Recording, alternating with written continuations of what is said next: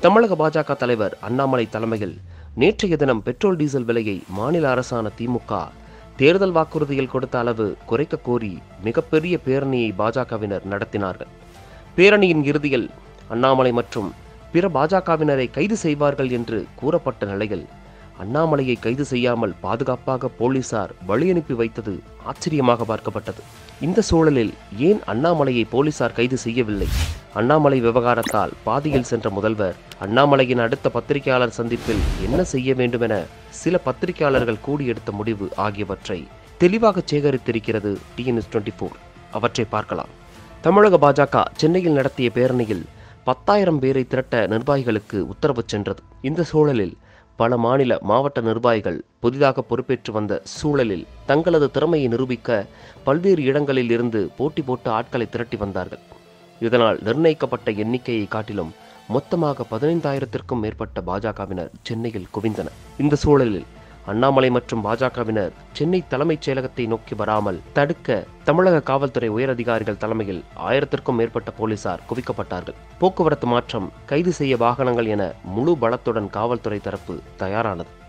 மேலும் அண்ணாமலை மற்றும் பாஜக நிர்வாகிகள் ஆகியோர் நடைபயணம் மேற்கொண்டால் அவர்களை கைது செய்து மண்டபம் ஒன்றில் தங்க வைக்க முன்னேற்பாடுகள் செய்யப்பட்டும் இருந்தன ஆனால் இறுதியில் மிக மிக முக்கிய பொறுப்பில் இருந்த காவல்துறை அதிகாரியிடம் இருந்து யாரையும் கைது செய்ய வேண்டாம் அவர்களை சமாதானமாக பேசி அனுப்பிவிடுங்கள் என்று உத்தரவு வர அதையே செய்திருக்கின்றன காவல்துறையினர். இதற்கு காரணமாக பார்க்கப்படுவது பாஜகவினர் இத்தனை ஆயிரம் பேர் சென்னையில் கூடுவார்கள் என காவல்துறை கணக்கிடவில்லை. மற்றொன்று பாஜக நிர்வாகிகளை கைது செய்து மண்டபத்தில் தங்க வைத்து ஒருவேளை அண்ணாமலை உள்ளிட்ட தலைவர்கள் நாங்கள் மண்டபத்தை விட்டு வெளியேற மாட்டோம் என அங்கு போராட்டத்தை தொடங்கினால் அது இந்திய அளவில் தலைப்புச் செய்தியாக மாறும் என்பதால் காவல்துறை தரப்பில் சுமூகமாக பேசி அனுப்பி வைத்து தெரிவிக்கின்றன. இது ஒருபுறம் என்றால் திருச்சி விமான நிலையத்தில் பத்திரிகையாளர்களை முதல்வர் ஸ்டாலின் சந்திக்கிறார். தமிழகத்தில் சட்டம் ஒழுங்கு சீர்கெட்டு இருப்பதாக தொடர்ந்து எதிர்க்கட்சி தலைவர் குற்றம் சாட்டுகிறார் என்ற செய்தியாளர்களின் கேள்விக்கு பதிலளித்த முதல்வர் நானும் இருக்கிறேன் என்பதற்காக எதையாவது எடப்பாடி பழனிசாமி கூறி வருகிறார். திமுக ஆட்சி பொறுப்பேற்ற பிறகு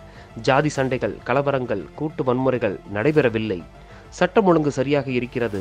அதன் காரணத்தினால்தான் முதலீடுகள் வந்து கொண்டிருக்கின்றன.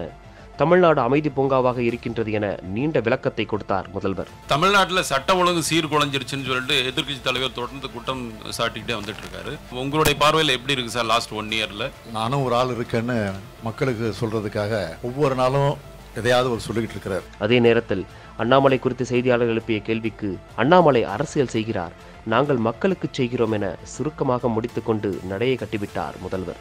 எல்லாம் எப்படி அண்ணாமலைக்கு போகுது அப்படிங்கிற ஒரு கேள்வி இருக்கு. ஆனா முன்கூட்டியே அவர் உங்களுக்கு வந்து அது பதிலா சொல்றாரு அவரு. என்ன என்ன சொல்றாரு? விஷயம் இப்போ வந்து மாமல்ல வரும் இஷ்யூ ஆகட்டும் எதுவாக இருந்தாலும் நாங்க தடுத்து நிறுத்துவோம் அப்படின்றது அரசாங்கம் தெரிவிக்கிறதுக்கு முன்பாகவே அவங்க சொல்றாங்களே என்ன எப்படி சார் காரணம் அண்ணாமலை அரசியல் பண்றாரு. நாங்க வந்து மக்களுக்கு நல்லது பண்றோம் அவ்வளவுதான் வித்தியாசம்.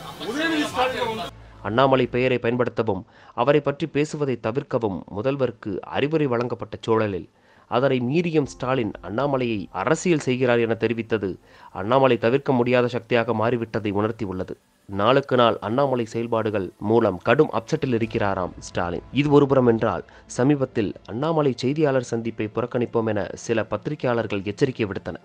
இந்த சூழலில் அண்ணாமலையின் நேற்றைய பத்திரிகையாளர் சந்திப்பில் முன்னணி ஊடகங்கள் கலந்து கொண்டது தீர்மானம் போட்ட சில பத்திரிகையாளர்களுக்கு அதிர்ச்சியை கொடுத்தது. இந்த சூழலில் ஊடக தலைமை தங்களிடம் பணியாற்றும் செய்தியாளர்கள் நிருபர்களுக்கு எச்சரிக்கை ஒன்றை கொடுத்திருக்கிறது. அதில் அனைத்து அரசியல் தலைவர்களையும் ஒரே அளவு கோட்டில் பார்ப்பது இல்லை. ஏற்கனவே தமிழகத்தில் ஆளும் கட்சிக்கு ஆதரவாக செயல்படுகிறோம் என பாஜக குற்றச்சாட்டு வைக்கிறது.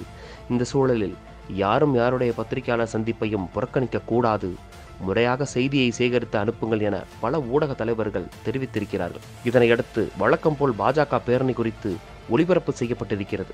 இந்த சூழலில் அதிர்ச்சி அடைந்த சில பத்திரிகையாளர்கள் அண்ணாமலையின் அடுத்த செய்தியாளர் சந்திப்பில் பல்வேறு கேள்விகளை கேட்க வேண்டும் என முடிவெடுத்திருக்கிறார்களாம். இதில் கொடுமை என்னவென்றால் இதுநாள் வரை எந்தவித ஆதாரமும் இல்லாமல் கேள்விகளை எழுப்பியவர்கள் அண்ணாமலையை எப்படியாவது மடக்க வேண்டும் என பள்ளி குழந்தைகள் பாடப்புத்தகங்களை திருப்புவது போல் மத்திய அரசின் திட்டங்கள் குறித்து பல்வேறு வகையில் தகவல்களை சேகரித்து வருகிறார்களாம். எப்படி இருந்த பத்திரிகையாளர்களின் நிலைமை இப்படி ஆகிவிட்டதே?